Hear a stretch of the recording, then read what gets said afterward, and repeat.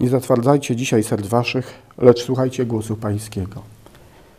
W naszym rozważaniu powiem sobie o autobusie, o dwóch mostach i o bóstwie Pana Jezusa. O autobusie. Gdy wsiadamy do autobusu rano, widzimy kierowcę. I nawet nam na myśl nie przyjdzie zapytać go, czy ma uprawnienia, czy może jeździć. Wierzymy, że ktoś to sprawdził. Wierzymy, że ktoś dopilnował wszystkiego, żeby było dobrze. Idziemy przez pasy i wierzymy, że kierowca, który jedzie, zatrzyma się i nas przepuści. Kierowcę, którego nie znamy. I jemu wierzymy. A Panu Bogu o moście, pierwszym moście. Czytanie pierwsze mówi o Abrahamie, o przymierzu Abrahama z Panem Bogiem. Otóż Abraham, wtedy jeszcze Abram, uwierzył Panu Bogu, choć go nie znał, nie widział. Pan Bóg dał mu obietnicę i uwierzył.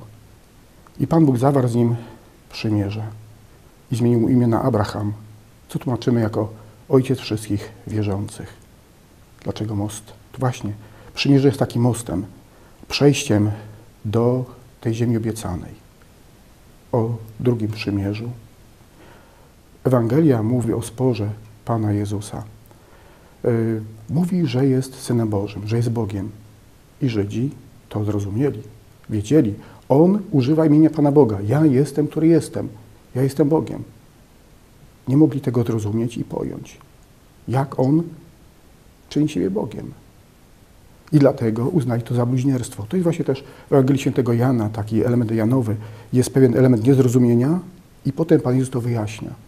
Ale oni nie zdobyli się na kolejny krok, przejścia przez ten most. Most, który daje Pan Jezus przymierze.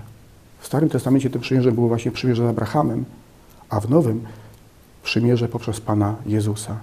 Nie mogli uwierzyć. I pytanie dzisiaj do nas. Czy ja wierzę, że Pan Jezus jest Bogiem? I trzeba zrobić następny krok. Przejść. Przejść tym przymierzem do ziemi obiecanej. Ale wielu z nas się zatrzymuje. Nie robi tego kolejnego kroku. To, co zrobili Żydzi. Nie przeszli dalej. Nie zatwardzajcie dzisiaj serc waszych, lecz słuchajcie głosu Pańskiego. Czy Jego głosu słucham? Czy słucham Pana Boga?